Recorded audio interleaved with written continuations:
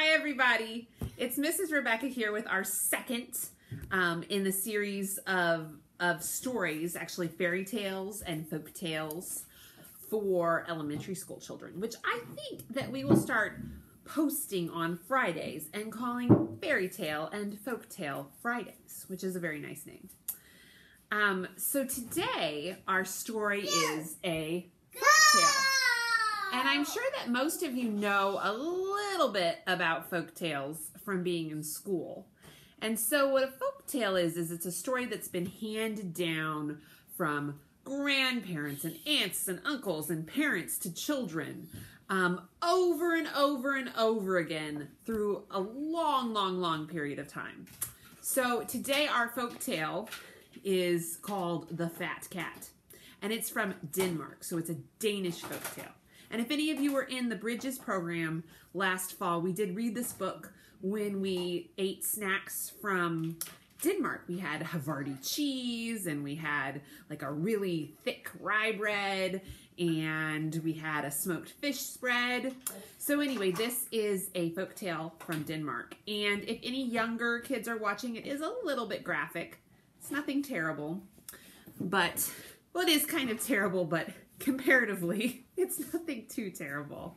But without further ado, let's read The Fat Cat by Jack Kent, which really means retold by Jack Kent, I think.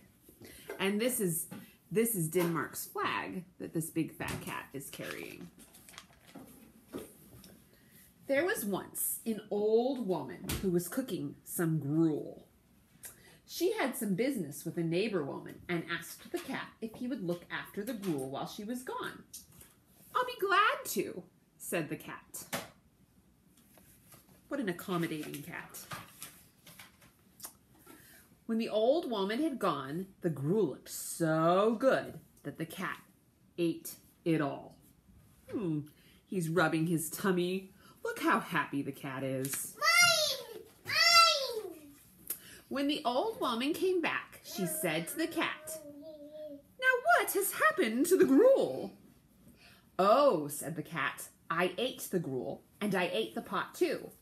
And now I am going to also eat you. And he ate the old woman. What? He just ate her up? it's shocking. He went for a walk, and on the way he met Skohottentot.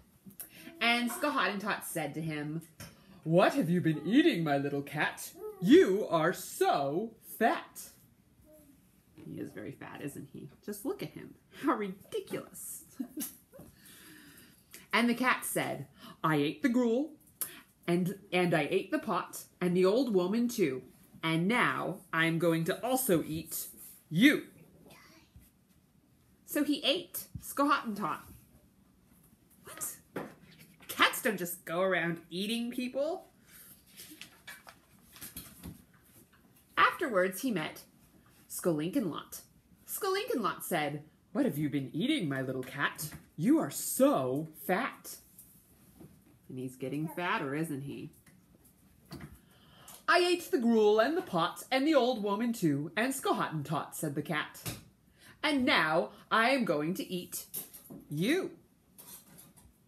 So he ate Skolinkenlot. He's very fat already. How fat will he be in the next picture? Oh, goodness. Look at that fat cat. Next, he met five birds in a flock. And they said to him, What have you been eating, my little cat? You are so fat. I ate the gruel and the pot and the old woman too and Skohottentot and Skolinkenlot.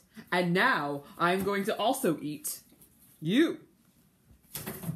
And he ate the five birds in a flock. It's pretty big now.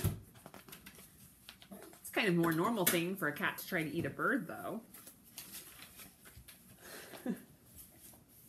Look at him now. I hope he doesn't eat these children. Later, he met seven girls dancing, and they too said to him, Gracious, what have you been eating, my little cat? You are so fat.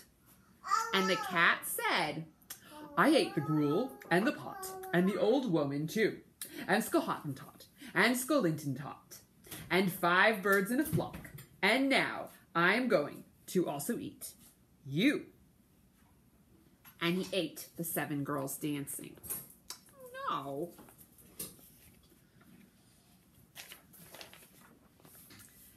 When he had gone a little farther, he met a lady with a pink parasol. And she too said to him, Heavens, what have you been eating, my little cat? You are so fat. And you can see he doesn't even fit on the page there. I ate the gruel and the pot and the old woman too, and Skohottentot and Skolinkenlot and five birds in a flock and seven girls dancing. And now I'm going to also eat you. And he ate the lady with the pink parasol.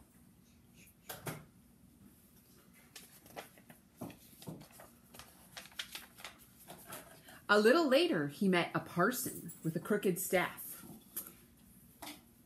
Dear me, what have you been eating, my little cat? You are so fat. Oh, said the cat. I ate the gruel and the pot and the old woman too, and Skohottentot and Skolinkenlot and five birds in a flock and seven girls dancing and the lady with the pink parasol. And now I am going to also eat you. And he ate the parson with the crooked staff. How is he even going to fit anywhere? Let's see what happens. Next, he met a woodcutter. My, what have you been eating, my little cat? You are so fat. Look how big he is now. And the cat says, I ate the gruel and the pot, and the old woman too, and Skohottentot, and Skolinkenlot, and five birds in a flock, and seven girls dancing, and the lady with the pink parasol, and the parson with the crooked staff. And now I am going to also eat you. No, you are wrong, my little cat, said the woodcutter. Uh-oh, you guys, what does the woodcutter have? And do any of you guys remember the end of Little Red Riding Hood?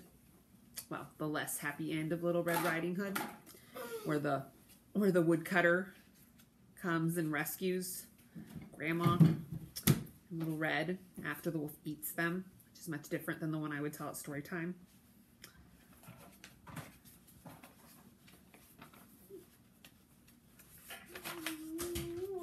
He took his axe and cut the cat open. And out jumped the parson with the crooked staff, and the woman with the pink parasol, and the seven girls dancing, and the five birds in a flock, and Skolinkenlot, and Skohottentot. And the old woman took her pot and her gruel and went home with them. Oh, and that is the end. But it does give us some hope of a happy ending. There's the woodcutter and this ridiculous cat sitting together with a bandage. So, we could choose to believe that the cat was happily bandaged back up. I don't know. Seems unlikely, but I will choose to believe it. That the cat learned from his mistakes, was sewn back up, and went on to live a very happy cat life.